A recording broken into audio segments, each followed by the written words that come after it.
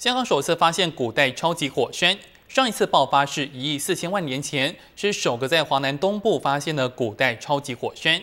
香港政府说，这个发现对于研究香港的地貌意义重大。这个命名为梁船湾超级火山的古代超级火山，星期四首次由香港政府开放给媒体参观。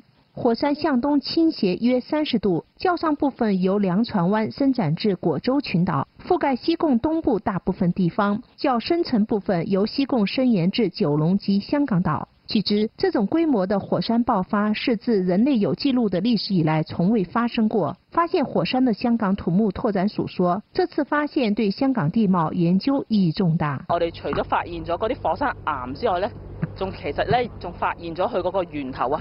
我哋話個岩漿嘅源頭就係我哋而家喺誒香港島北面同埋九龍半島發現嘅一啲花崗岩咧，其實係佢個源頭嘅。